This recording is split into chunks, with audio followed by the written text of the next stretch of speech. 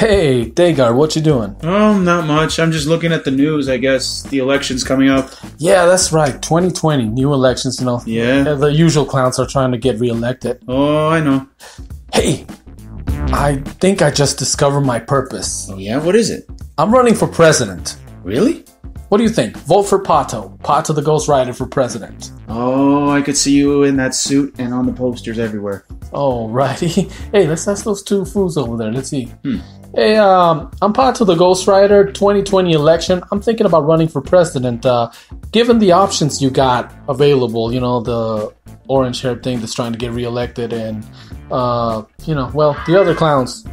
Uh, who would you vote for if uh, given a choice? I'd go for Pato the Ghostwriter. Gosh. And you, sir?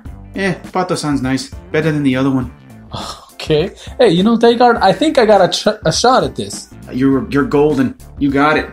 Okay. Hey, don't forget uh, Reb-Alien episode one coming up. Uh, Pato the Ghostwriter. Vote for Pato. Don't forget that. I think uh, that's gonna be my whole thing. Oh, I'm yeah. running for president. Vote Yes. for Pato. Yes, and, indeed. uh, Vote for him. celebrity voice impersonated. Yes.